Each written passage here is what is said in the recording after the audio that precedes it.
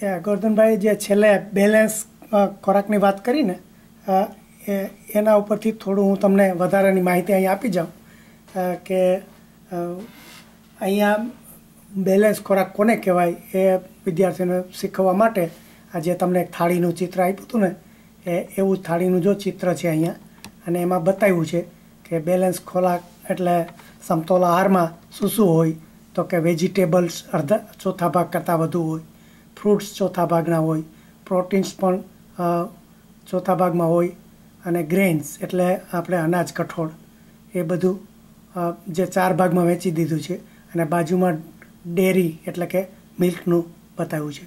એટલે આવી રીતે એને પ્લેટનું ચિત્ર બતાવી અને એમાં જુદા જુદા જે આપણે ઘટકો શીખ્યા, એ બધા ઘટકો વિશે વિદ્યાર્થીઓને શીખવામાં આવતું હોય છે.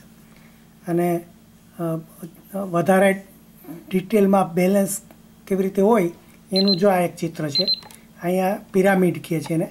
એટલે પિરામિડમાં જો બધા જુદા જુદા કલર બતાવી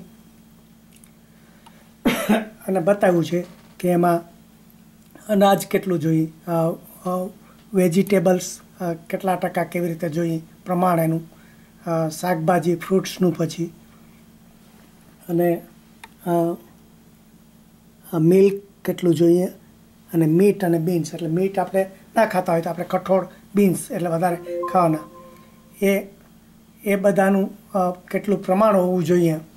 એ બધું, આ એટલે ડાબી બાજુ છે, એ નવું ચિત્ર છે. પહેલાં જૂનામાં જૂનો ત્રિકોણ હતો પિરામિડ. એમાં આવી રીતે બતાવતું કે વધારેમાં વધારે શું શાકભાજી બ્રેડ ને એવું લેવું જોઈએ, પછી શાકભાજી લેવા જોઈએ.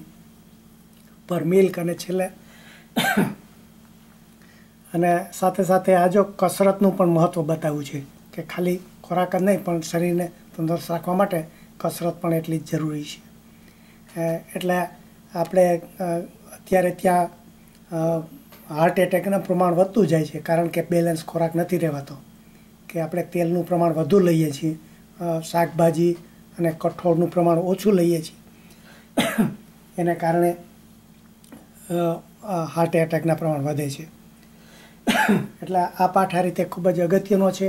ખાલી ભણવા માટે કે પાસ થવા માટે નહીં, પણ જો ખરેખર એમાં જે બધું સલાહ આપી છે એ પ્રમાણે વર્તન કરો, તો તમને પણ જીવનમાં ખૂબ ઉપયોગી થાય છે તંદુરસ્તી માટે, શારીરિક વૃદ્ધિ માટે.